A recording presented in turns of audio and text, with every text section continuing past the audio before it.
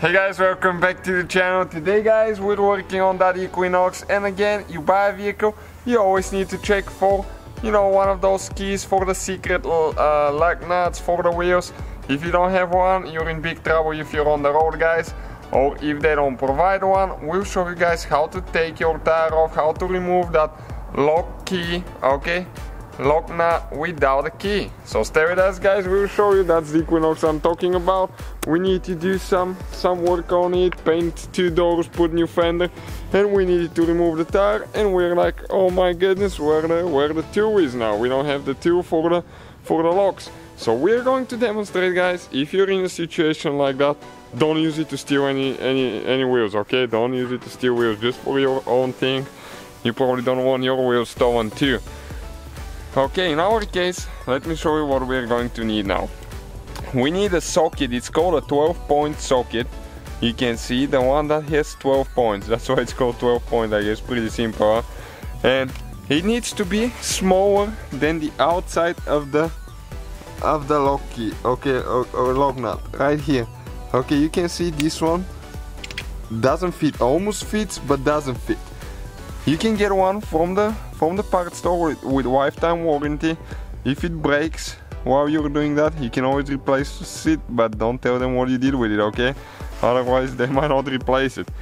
Okay, so what you need to do, you need to hold it, guys, and you need to hammer it in. Okay, that's why it needs to be smaller so it fits really, really tight on the nut. This one particularly is a 19 millimeter. Some we've done in the past used 22. Okay, so it's in now and let's see if it's going to come loose. Super tight. Okay, and I think it started going. Yep, right there. So we're going to take it off now and I'm gonna show you how to release the the lock nut okay from the from the socket now. What you need to do guys uh, you need to get a bigger socket or a vise okay? And the lock nut needs to go in. Now you need to get a bolt that fits inside and you need to hammer it in until it uh, falls off the socket. Okay right there. You can see came out. Okay let's go try one more on the back and see how that's going to work now. If it's going to do the same the same procedure. Sometimes some some are tighter than others Okay, let's give it one more try and see how it's going to turn out now. Okay, the same thing, same socket. We're going to hammer it in. Okay, perfect. Let's see now if it's going to work now. Hopefully it does, guys, because that saves you quite a bit of trouble.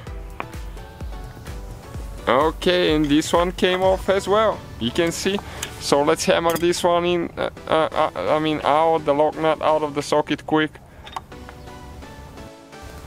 Okay, we have the two sockets ready. Okay, didn't come out this time, so let's try one more time.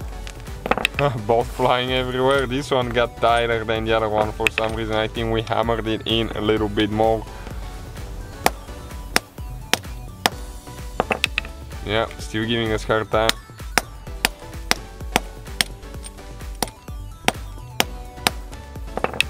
Wow, it is tight now, but it should come off. Let's see how much we're gonna spend hitting that thing. Probably quite a bit. Okay.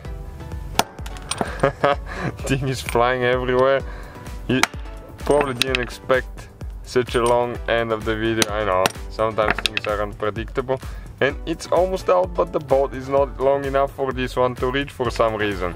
Okay, so we're gonna get a, a screwdriver and push it out all the way now.